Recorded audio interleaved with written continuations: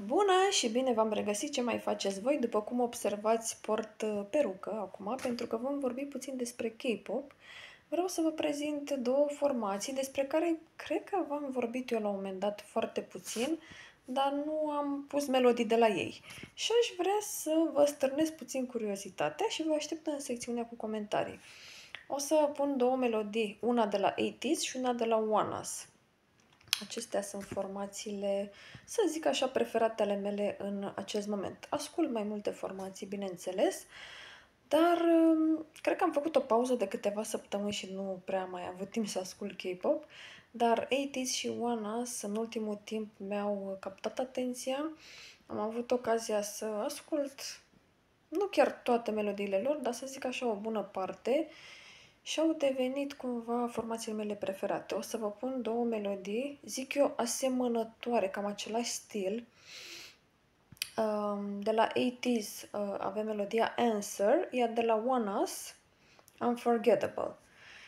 De ce am ales aceste melodii? Pentru că mi se pare un bun start. Dacă vă plac vocile bune sau, nu știu, ceva mai uh, sensibil, să spunem, melodiile astea sunt foarte potrivite. Au și melodii mai energice și mai interesante, dar astea sunt puțin mai...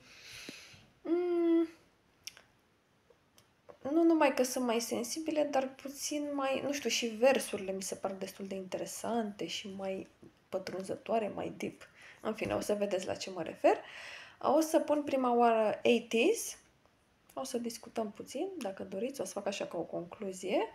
Și apoi o să pun și One Us cu melodia Unforgettable.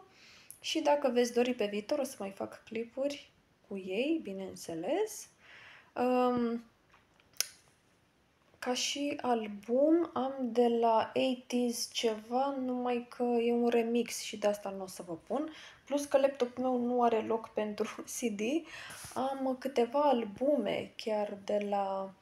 Cred că am vreo una, două, trei albume de la OneUs. Știți că v-am făcut unboxing. Doar că celălalt laptop pe care l-am eu nu mai funcționează bine și am un laptop care nu are loc pentru CD, deci nu am cum efectiv.